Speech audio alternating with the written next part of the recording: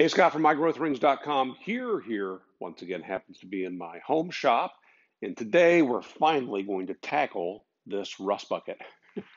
yeah, this uh, this joiner that came with this Mark V uh, has just a ton of surface rust on it, and uh, while I have used it just to check it out, I have not used it in real life. And we've got some mahogany boards back here. My grandson and I are needing for a project. They need to go through this jointer, and I'm not going to run them through in its current state. So in this video, we're going to clean this thing up and uh, kind of walk you through that process. And I, I'm going to do something really weird in our midweek follow-up, something that I like to do with cast iron. And so for sure, make a point to subscribe and watch for that video uh, episode of what we call Stumped Q&A.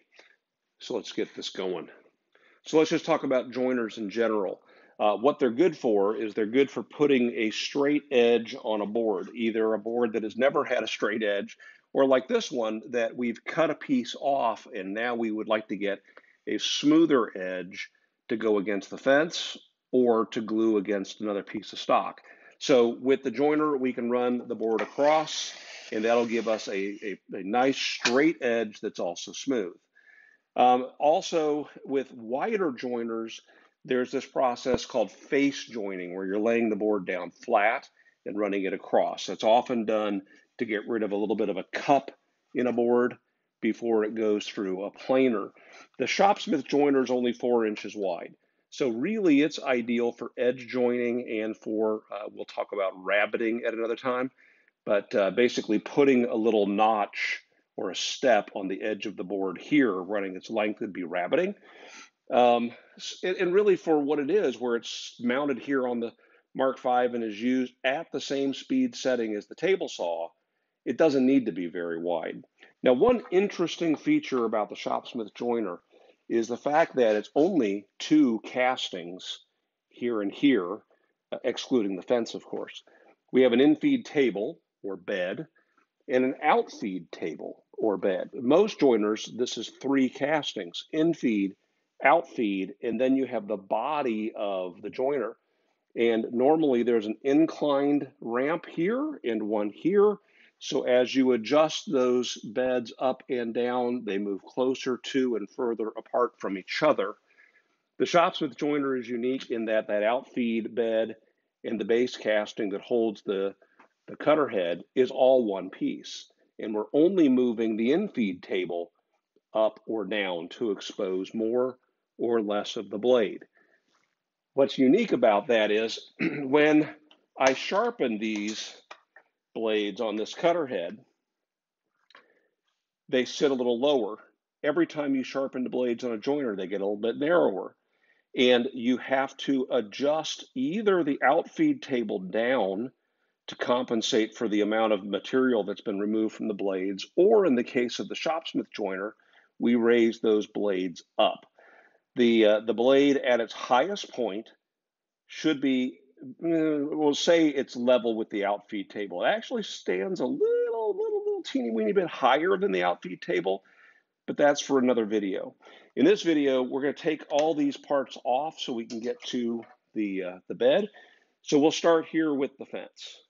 So the Shopsmith joiner fence is actually a thing of beauty. Uh, it's got a captured wrench. It's basically just a hex wrench. And when I pull that wrench out away from the joiner and turn it, that allows the fence to move left and right and to be removed.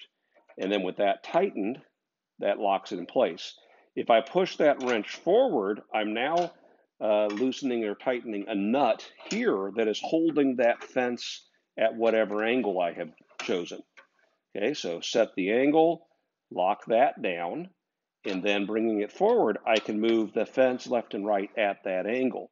So I'm going to loosen this completely and slide this off. And I'm just going to set this on my table. And yes, I have the jointer mounted on the wrong end of the Mark V. I have it here so I can have it next to the main table uh, so I can easily just set things up and out of my way. Now we're going to take off the guard. And depending upon the vintage of your jointer, it might just lift straight out. If it lifts just straight out and it's made of aluminum, um, you, you would have had to have been careful when you slid the fence off because that guard would want to unwind its spring. Um, so before you do that, maybe you hold hold the uh, guard in, in one hand as you slide the fence completely off, and then allow that spring tension to unwind. With this feather guard, there is a little adjustable stop here that I used to my benefit. That's holding that in place. But if I lift that up and allow it to spin past that stop, you can see that spring pressure is on. And now, yep, still got a little bit of pressure on it. And now there's no no pressure on that at all. We'll get around to re uh, retensioning this later, but now we're going to remove it. This little spot right here, this little uh, stop, uh, is removed with a wrench, and this one is removed from the bottom with a different socket.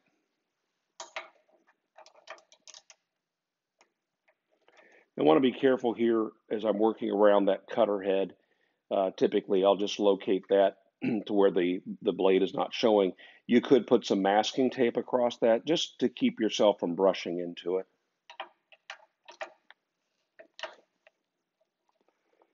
And then that little stud comes right out. Now, if you do a retrofit kit of an old version to the feather guard, you're going to drill and tap that hole. It's a really straightforward operation, and it's one we'll do in a future video because I have an old jointer that I want to add this feather guard to.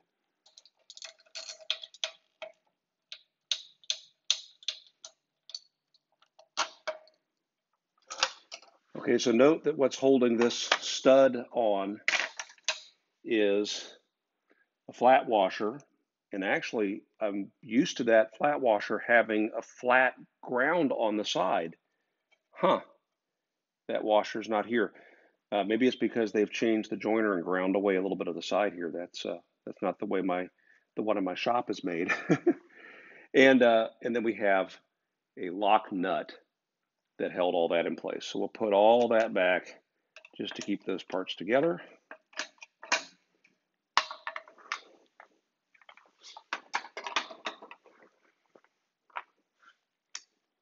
And now we are ready. And there's a chance you stumbled across this video because you've got a rusty tool that you need to get cleaned up.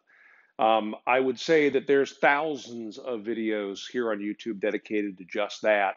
But I will tell you there are two approaches that I take depending upon the condition of the tool. If it's just surface rust like we have here, which is almost just a powder, um, I use WD-40 and Scotch-Brite. You know, Scotch-Brite is basically a, a, plastic, let's call it steel wool. Um, and that's all it takes to clean it up. Um, if, if I've got really deep set, maybe even pitted areas with rust, then I use Evapo-Rust. In fact, I have a jointer at my shop, um, six inch Delta jointer that I've already purchased some Evapo-Rust for because it's been under a cover for several years and I pulled the cover off recently and much to my surprise, I found it was pretty rusty. So um, for the WD-40 treatment, we want to be sure that we're wearing gloves. So I'm gloving up here. Um, also, a couple other things. You want to make sure that you have some paint thinner handy to clean up uh, once we get this cleaned off with the WD-40, I want to get the WD-40 off. I want to get down to bare metal. Um, and if I walk away after that, I'm going to be looking at rust again real soon. And so um, we need to be ready to, uh, to coat that. And again, we'll get into that midweek. Uh, one more thing I wanted to mention to you. We were accidentally sent a package of these paper towels from Amazon. We had some paper towels that were just automatically being sent. And during the pandemic, I guess they ran out and were substituting. And they sent us this very, very, I guess it's expensive, but really nice, almost fabric like paper towel. And uh, I now use these, I got some in my pocket right now.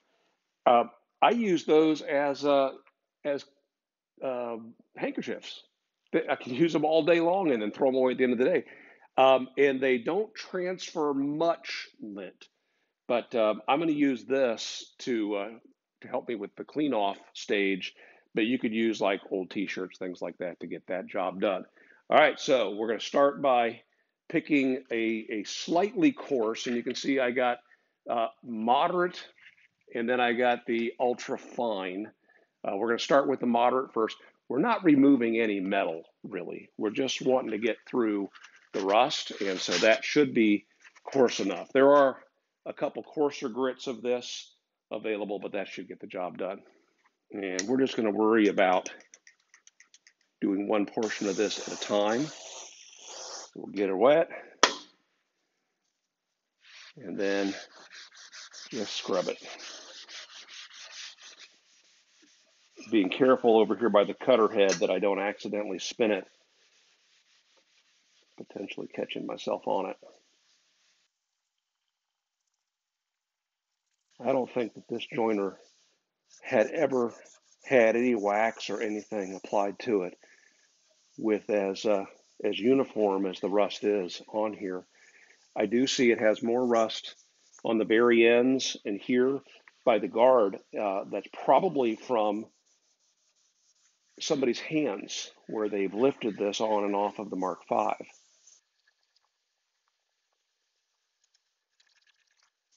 we still have a ways to go, but let's uh, let's spray a little on here. We'll clean it off and give you a quick look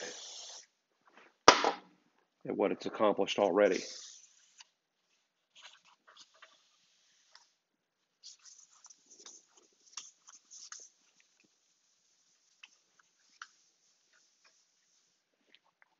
Yeah, definitely is worth the effort.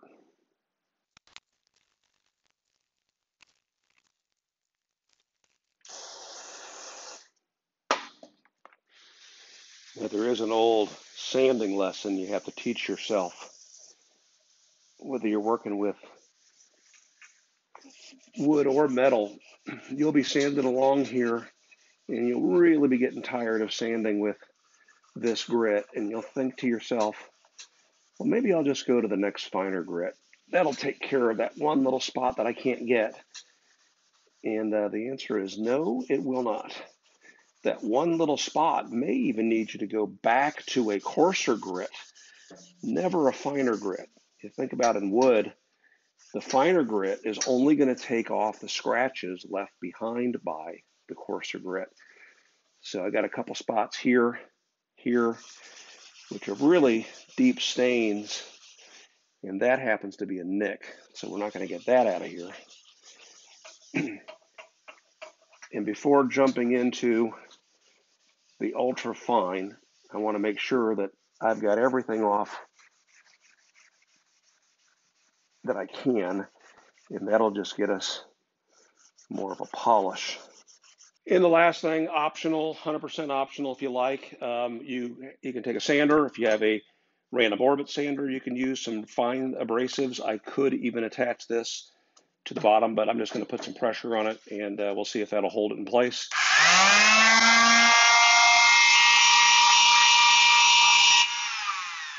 And that just puts a little finer finish on it that I can accomplish with my hands. Okay, let's wipe that off one more time. Just to look at it. And then we're going to cover that back with some more while we continue to work on the rest. Is it perfect? No, I still see the outlines of a couple stains here, uh, but that's all right. Considering the condition it was in when we started, I'm happy with it. Now we have all this to do.